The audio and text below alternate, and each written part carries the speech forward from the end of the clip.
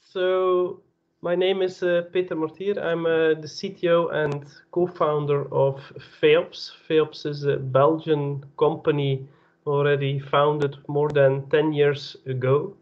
Um, and today I uh, will tell a bit about the journey of FEOPS. Um, the title is From ID to Commercial Use, but the presentation is a bit in the opposite direction.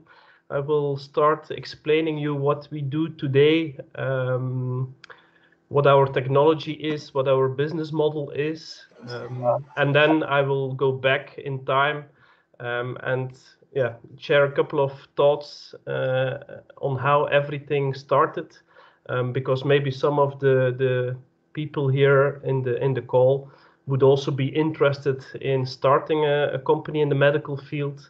Um, and I will just share some uh, some ideas, some experiences, and and also challenges that we faced uh, in the early days, but also still uh, today. Um, with uh, where FEOPS is to date. Um, is active in the field of structural heart disease, um, and we focus on transcatheter treatments of heart valve disease, all four heart, heart valves. Um, and on top of that, we are also um, very active in the space of left atrial appendage closure. Um, I think many of you are familiar with transcatheter treatments of heart valve disease, like um, uh, TAVI for treating the aortic valve. This has become a standard practice to date. Um, there are some emerging treatments of heart valve diseases, like in the mitral and in the tricuspid field. Um, but today I will focus a bit on left atrial appendage closure, um, because that's probably quite, uh, or let's say, a little bit more unknown to many of you. Um, I don't know if you see my my uh, cursor, but the left atrial appendage is attached. To, thank you, Marta. Is attached to the uh, left uh, atrium. Um, the function is not fully clear, um, but patients that are having um, atrial fibrillation, um, they have an increased risk of blood clot formation in this left atrial appendage. Um, and the typical or the risk associated, of course, with these blood clots is that they start traveling around. Um, they go upwards towards the brain, towards the brain, and you get a stroke. So, in order to um, prevent this, the standard therapy is, of course, medical treatment with anticoagulation.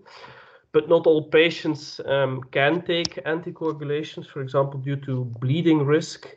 And there's a, a device-based treatment to help these patients. So what they do is they put a device in this left atrial appendage, a closure device, to seal off the appendage from the uh, atrium. And by doing that, you prevent that these blood clots um, can leave the left atrial appendage. So this is also um, a quite established procedure but it's a, a very um, challenging procedure as well. And I will explain that in the next couple of slides. So this is just, let's say, the scope of the activities of FEOPS. It's all centered around the heart and device-based treatments of the heart. As these are minimally invasive therapies, it is um, very important that there's um, good imaging available because in contrast to surgery where where the surgeon has a direct visual um, access to the target location um, interventional cardiologists or electrophysiologists they need to rely on medical imaging. And they use the medical imaging echo ct um, to see if a patient is eligible for certain treatment, to assess the risk of these procedures, and then also to plan in detail which device to use and where to implant a device. So this shows you a couple of CT images used to plan um, left atrial appendage occlusion. Um, for example, um, measurements are being taken at the ostium or the landing zone where the device needs to be placed. And based on these measurements, the device sizes are being selected. Um, also, there are other measurements that are relevant, like with any other intervention, there are multiple measurements that should be considered. And then using those measurements, um, physicians need to select a device size that they believe will fit with the anatomy. Um, in the case of left atrial appendage, you can see here there are for this device, which is the Amulet device from um, Abbott, it is available in eight different sizes. Um, and the reason for this is that this left atrial appendage really varies in anatomy from patient to patient. So there's a enormous variation in the possible anatomical shapes, but also in the sizes of this left atrial appendage. Um, this is different from, let's say, um, the aortic valve, where, let's say, the range of variation is, is smaller. Um, so based on the measurements, physicians need to look in this table and then need to pick the proper device size. This is not straightforward. Um, and because of challenges to select the proper device and because of this huge variation in anatomy, it frequently occurs that after entering the body with a specific device, they do three, four, five attempts to get the device in a proper location and to get a good sealing and anchoring of the device because also the device need to stay in place, of course. Um, but sometimes they fail and they need to fully retract the device from the body. Um, of course, it's a fully resheathable device, so you can um, fully remove it from the body, and then they go back with another device size. Um, in the early days, this happened happened in up to 40% of the patients that two device sizes were needed. Today, with the growing experience, this has been reduced to 5 10%. But still, this is an important number um, and on top of that, because of these multiple attempts to position the device, these procedures are really um, challenging um, and take quite some time. Just to show you a little bit the complexity of this anatomy, um, somebody proposed to classify them in four different morphological shapes, um, but this is still a simplification. Um, and they, they gave some um, quite original names to these different um, categories of shapes based on their appearance.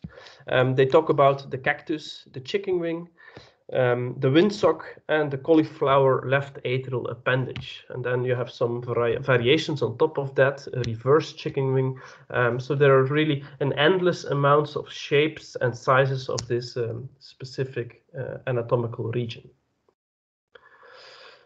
What is also very important, um, unlike with the aortic valve, is that the amount of clear landmarks on the anatomy, where to position the device and where to measure the anatomy is really limited. And I will, I will just um, illustrate the challenges of planning these procedures. Um, a simplified example here, but it gives, uh, it gives the key message. Um, this is two times the same anatomy. And because there's no lack in, there's a lack in anatomical landmarks, depending who will do the measurement, you will measure here with the white line the area, the perimeter, or the diameters. Um, but if you redo the measurement or somebody else does the measurement, this might and depending on those locations of measurements, you can get very different values and if you then look to the sizing table,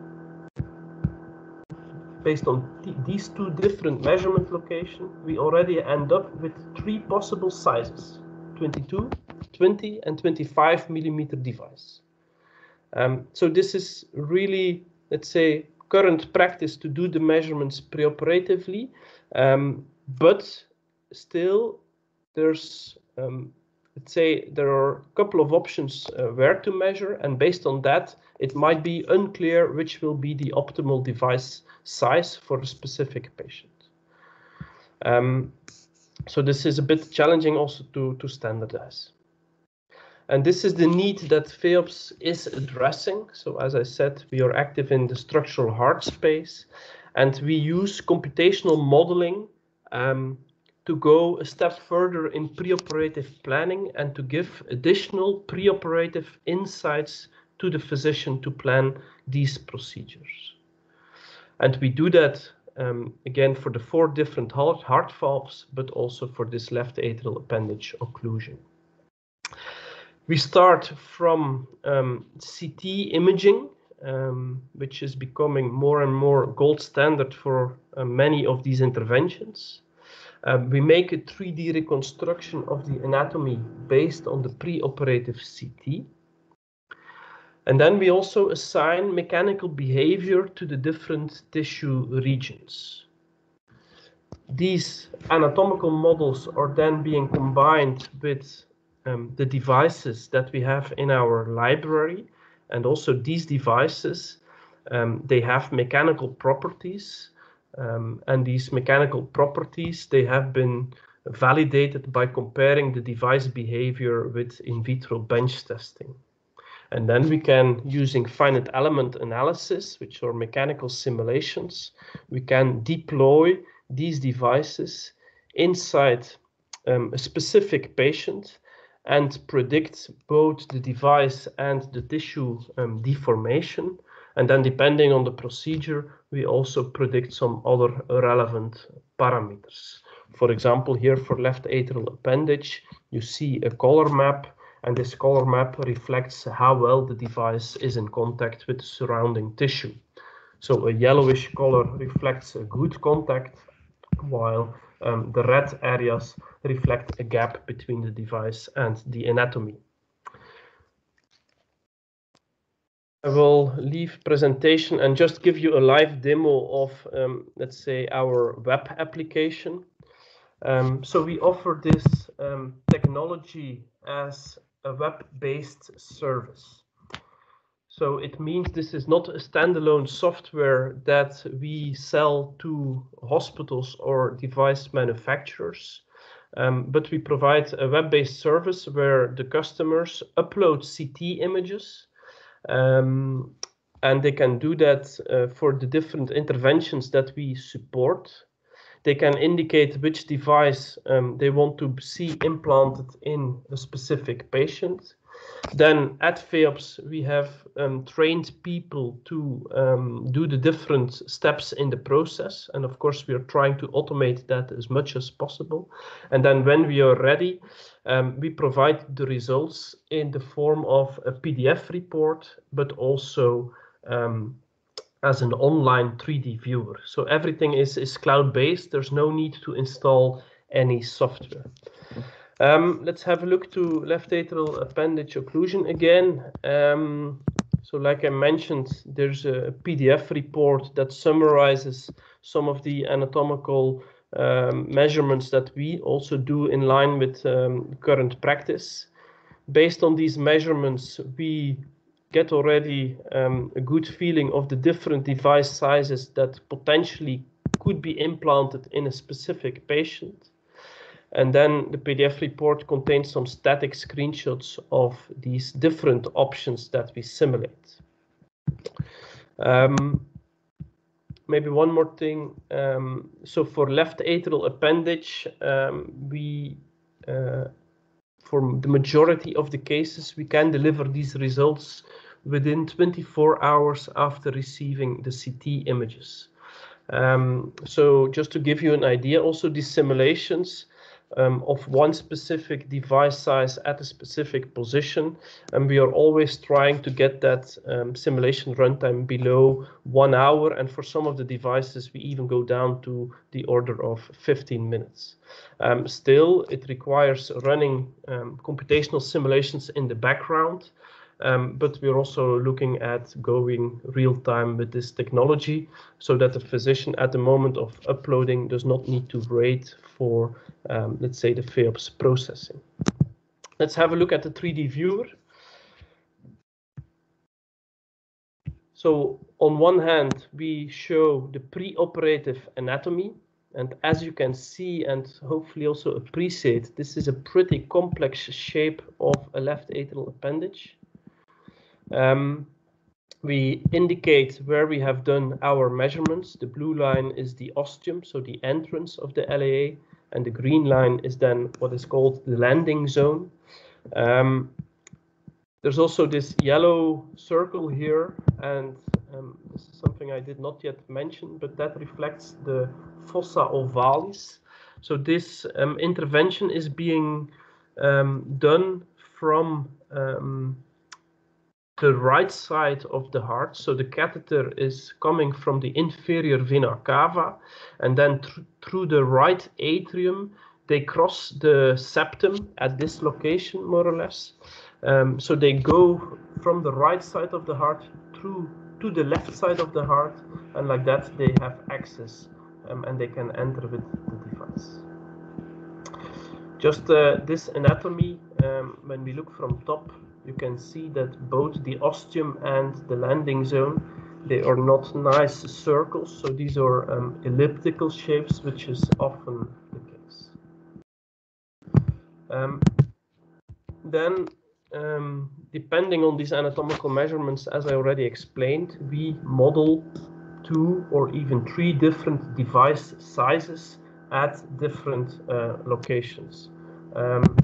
Peter, sorry for interrupting, but sometimes there is a bit of noise coming from your microphone, and it depends on your interaction. So I don't know whether there's something you're aware of that you can make it to avoid it, but sometimes there's a kind of a buzz coming in.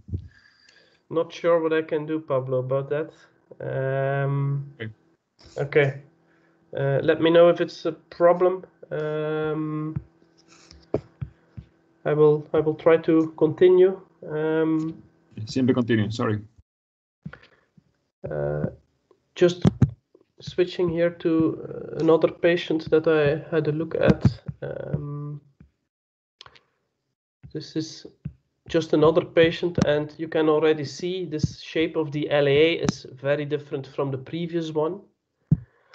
Um, so this makes this procedure pretty challenging. Um, so in this case, we have modeled two different device sizes, the 25 and the 28 millimeter amulet device. And we have implanted the two at um, a proximal and a distal positioning because that's another variable in the procedure, of course, where to position the device. So this shows you how the 25 millimeter device will deform in this patient um, and how the patient will also deform due to the device. And the red color, as I already explained, um, gives you, uh, shows you the gaps between the device and the anatomy.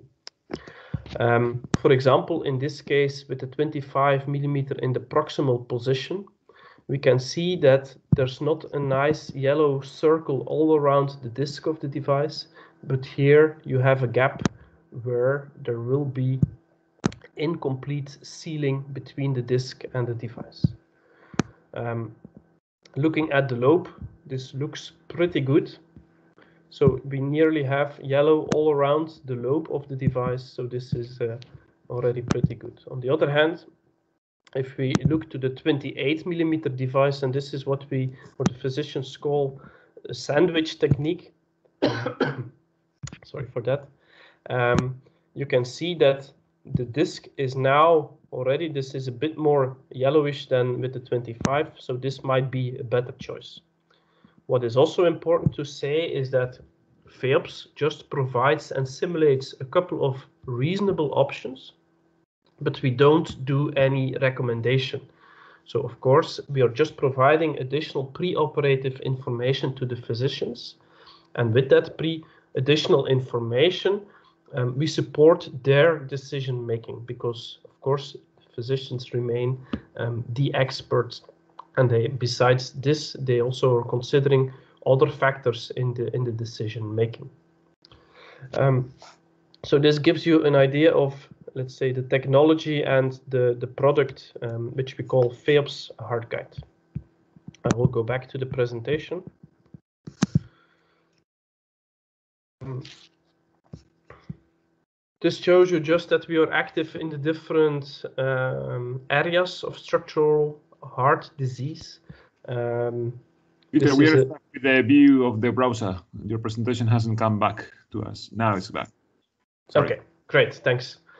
Um, so here we can see a mitral device, um, mitral replacement device, um, where the critical parameter to look at is the LVOT or the neo-LVOT.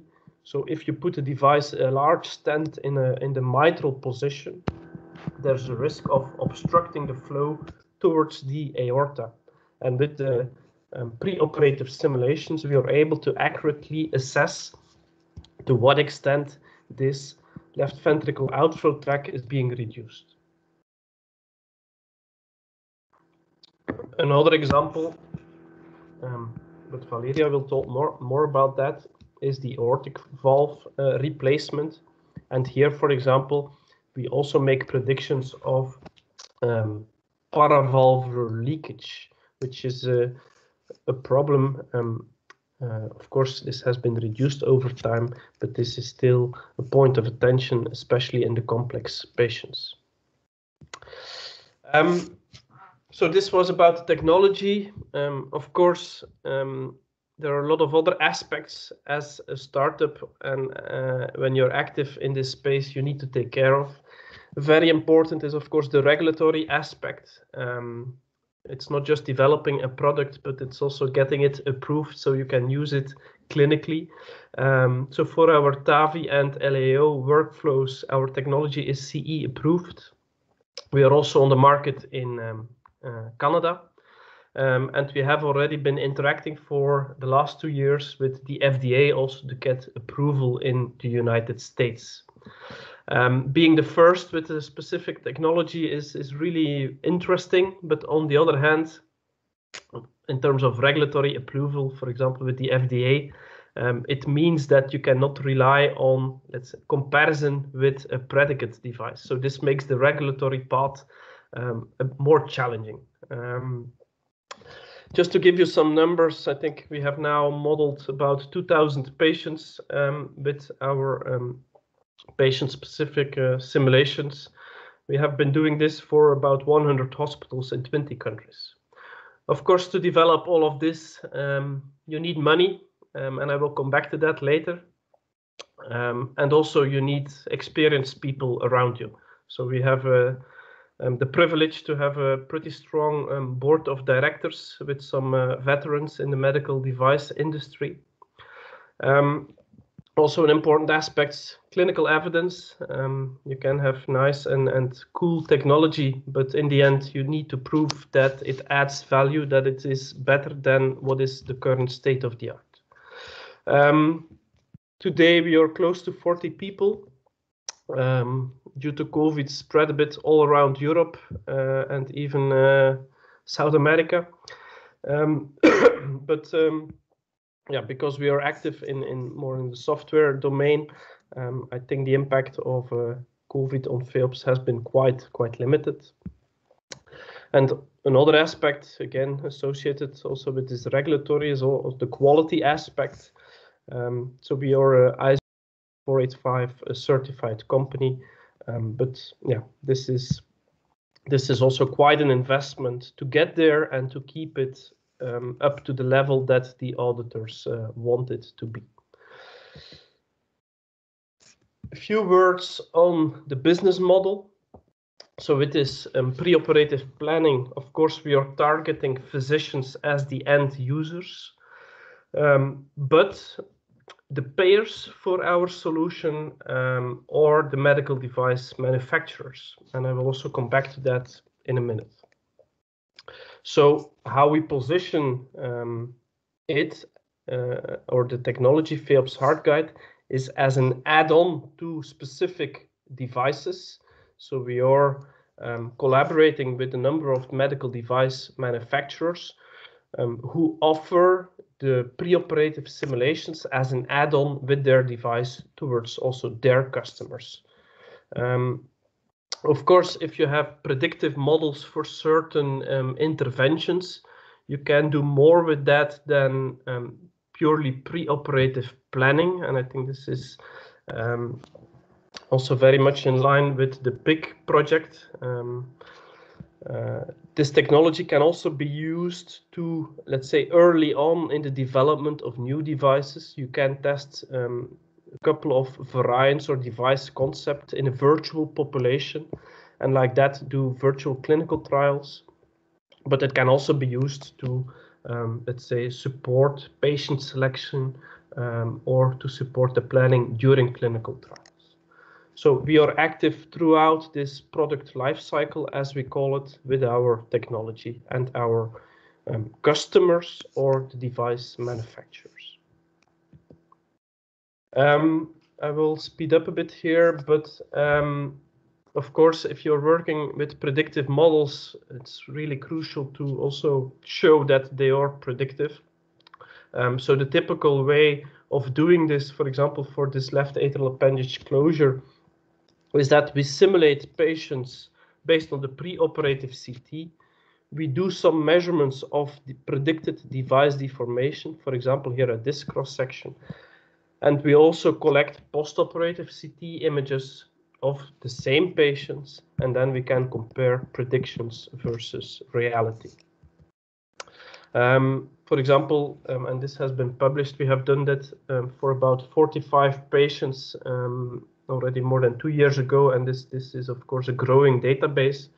Um, but this shows you um, yeah, a good correlation between um, the diameter measured on postoperative CT versus the diameter predicted by the computational model using the preoperative CT only. Um, just a couple more examples of, of qualitative comparisons between um, model predictions and postoperative CTs. And yeah, of course, the device can deploy and deform in a couple of ways, um, but these different modes of deformation can be can be captured by um, computational modeling. Um, so with this kind of evidence, it's possible to convince uh, early adopters of the technology to try it out and to start using it routinely.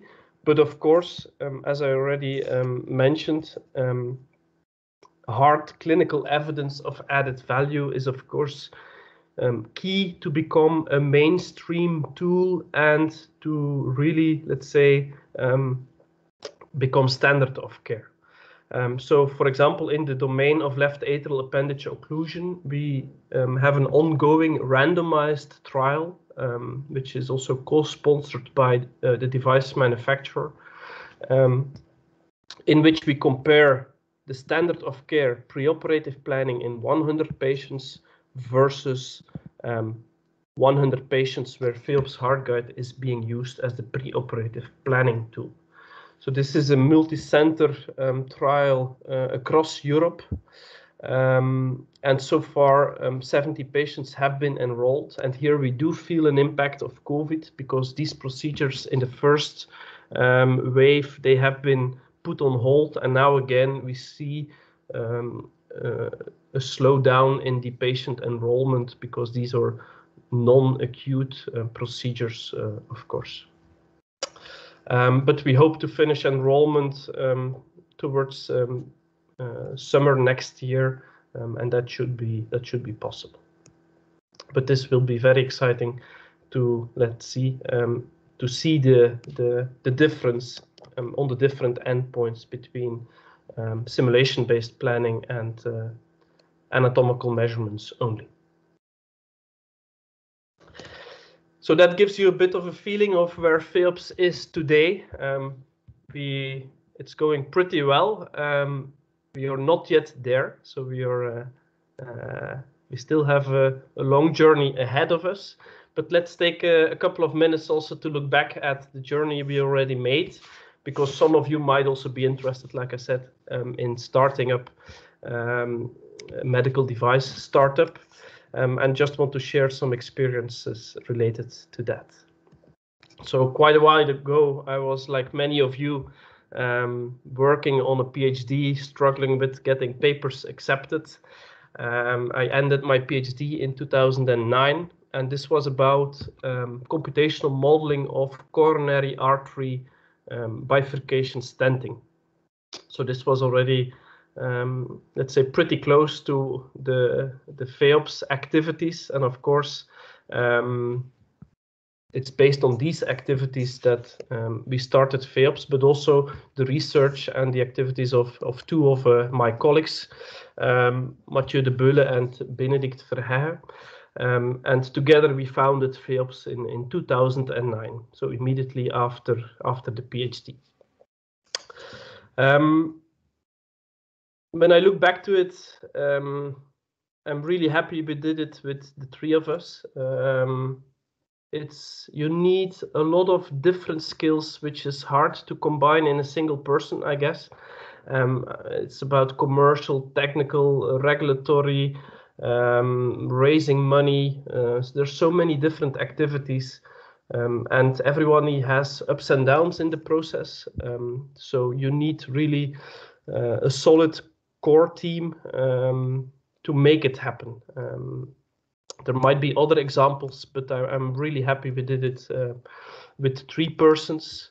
Um, the danger is, of course, if you do it with a couple of people, you know that you have very similar skills. Um, I think we have similar skills, but still um, we are quite different. Uh, and that's, of course, pretty needed to cover the different activities you need to do down the road. Um, and then maybe the most important one, if you go with a team, um, I think it's very important you know each other well. Um, I've heard stories where um, inventors or technical persons are being matched with business people to start a company. Um, but the path is challenging when you when you have a startup, and um, like I said, there are ups and downs. So if you know each other well and you have already a, a solid um, solid relationship, um, it's really really easier. Um, I think a blind date to start a company is probably uh, um, let's say less successful than than you have already a, a good relationship. Um, when I look back to it, it was quite risky and challenging maybe um, on one hand to start a company immediately after a PhD. And the key reason is you just lack experience. Um, you know how to write a paper, you know how to solve technical problems, but there are so many more things that needs to be done. And because of that lack of experience, we made a lot of mistakes. Um, I think even experienced people will make mistakes, but we made some pretty big mistakes, um, if I may say so. Um, for example, we had a first product which was called TaviGuide, and it was also web-based, and um, we had limited funding at the time of developing this. So we we cut a few corners, and somebody with um, a bit of Python experience uh, wrote this uh, Python-based web application, and it looked good. It worked well, um, but let's say behind the GUI, the code was suboptimal, and in the end, um, nobody dared to touch the code to make any change. So we lost a lot of time by cutting corners in terms of um, letting somebody with not enough experience develop this.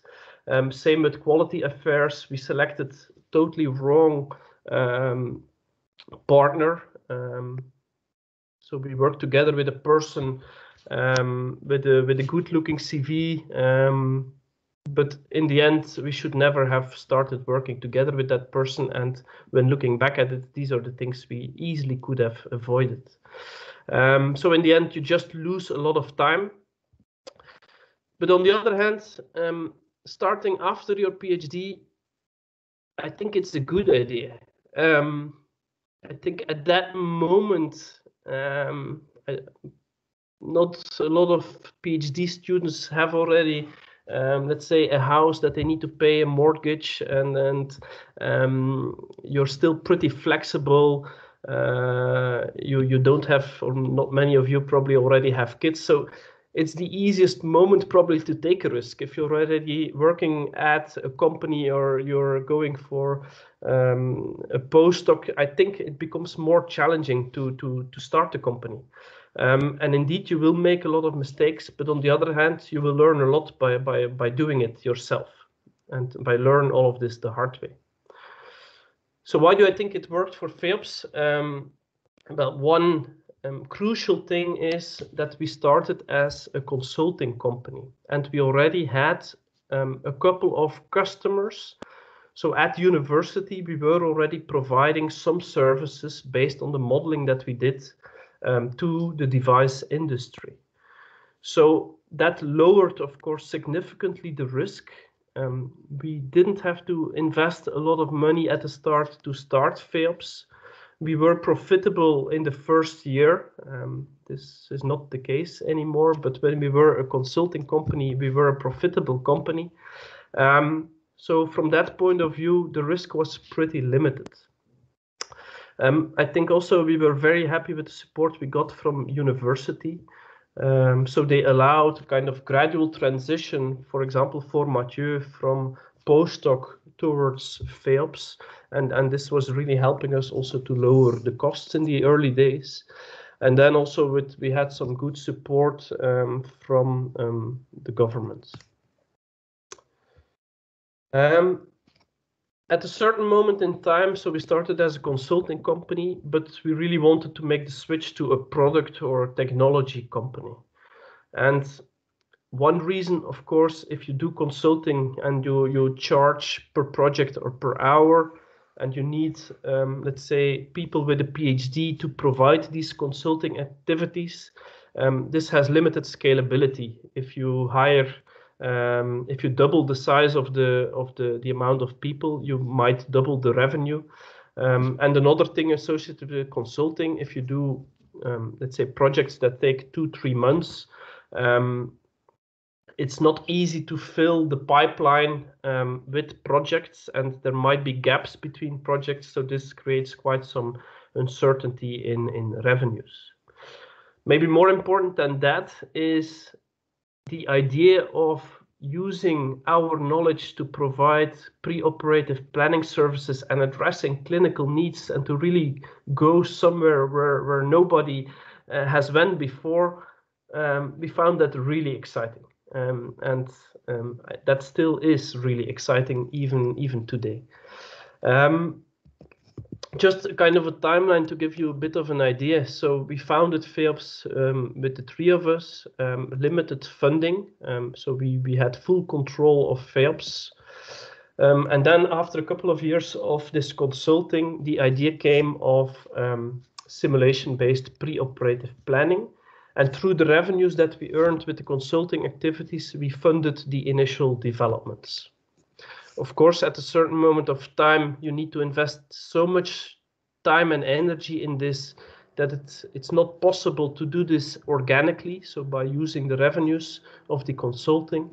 And in 2014, at the end of 2014, um, we raised um, Series A funding. So we attracted some investors who um, provided 1.3 million euro to um, do the further development of, of our technology. Um, and then also three years ago, there was a second uh, funding round, um, uh, 6 million euro, and that's what we call the Series, Series B. I will also come back to that. On one hand, starting as a consulting company lowered the risk in the beginning. Um, we were profitable. Um, there's not a lot of costs. Um, uh, so this this was really a good starting point. But making the switch from consulting to um, a product company is, is was really challenging. Um, so it's very hard to focus on developing a product if you're overwhelmed with project where there's a customer waiting for results, you're under pressure. If you um, did a wrong estimate on the time it would take to do a project, yeah, you just need to spend additional time on it. Um, and then the easy thing that is being postponed is the development of your own product. Um, then in the beginning, we had, like I said, we had full control over FEops. We didn't have to report to anyone except uh, to each other. Um, of course, if you start working together with the investors, you give partially the company away to the investors. And we have to report what we do, what we want to do, and discuss that with our investors who are in the board of, of directors. So it's a very different way of working. And also that transition um, took a bit of time, um, but today we are very happy with the board of directors. It's it's a very good sounding board um, where we get pretty good advice from from experts in the in the domain. Peter, sorry for interrupting. You are in timeout. okay, that, I think I can uh, I can stop here. Sorry for that, Pablo. Um, I thought I, I didn't have enough slides, so it's the opposite. okay. Interesting, Peter. I was, uh, yeah. Go go ahead. Whatever else you wanted to tell. But yeah. Um, if I may, just one one more slide about raising money because this is this is a tough job. Um, it's it takes a lot of time and energy. Um, for example, to find this first Series A money, it took us one year. So you have to, if you want to raise money, start early enough. That's a very important point. Um, also try to look to investors to find investors who really add some value who know the field you can know let's say a rich uncle who, who is willing to provide some money but if you find somebody who has been an active investor in the space of cardiology that's of course besides the money you get also the the expertise and and that's really really crucial um, and then we always underestimated the amount of money we would need to develop it. So just take whatever you can take. If the investor is willing to give you more money, um, don't look at the reduction in your shares. Um, you will need more money than you think. So these are a couple of um, advices regarding raising money, but I think I can stop here. Um, and I don't know if there's still a bit of time for questions or discussion. Um, Thank you, Peter. Uh, any questions from the audience? Also, you can write them on the chat if you want. One question, Peter. You're you're working mainly uh, based on um, this plan, this plan, computational tools that you're making, developing for uh, planification. They are mostly developed uh, on CT you're not using echocardiography at all? Um, we have we have uh, tested the feasibility for left atrial appendage of using also echo images, and that could be uh, that the feasibility was successful. But for the moment, we are indeed um, only in our clinical workflows only using CT. Um, and that's because CT is much more standardized, and with echo, um, there's quite a number of challenges um, because yeah, exporting echo images from the different vendors is is already a challenge in itself. Um, but in LAA, of course, let's say um, a lot of uh, the planning happens echo based, um, depending from country to country. That's correct. Yeah, and, and indeed we are using less CT because operators are becoming better so they are using less CT for planification and they just rely on T most of the times. Yeah, de again, depending from country to country, that is mm -hmm. indeed. Yeah. Yeah, there's a question from Hassan. Hi, Peter. Hi. Uh, very nice presentation, especially your advices for a company. So I have a question regarding funding. As you mentioned, you started your company in 2009. Yes. So at 2009, you just graduated. So normally we don't have enough money to start a company.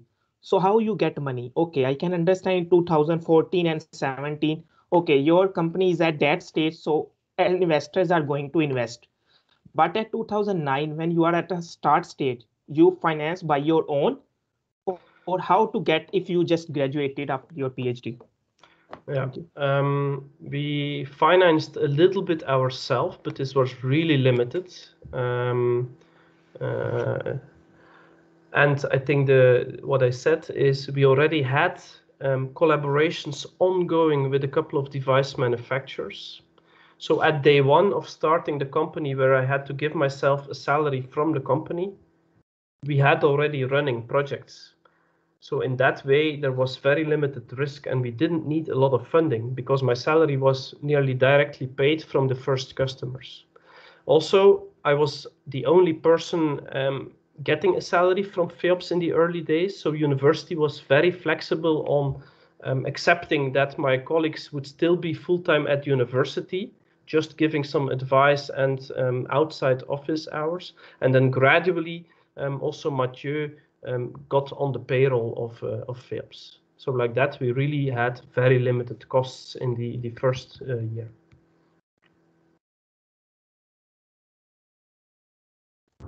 Another, another question from Sally Zayden. Last one, because we are really late. Sorry. Hi, um, thank you for your presentation. I was just wondering, um, you did mention that having investors was more tricky because you had to also, uh, for example, report back to them, right?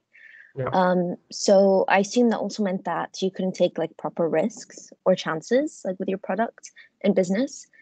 Um, so I'm wondering when you think is a reasonable time to be looking for investors?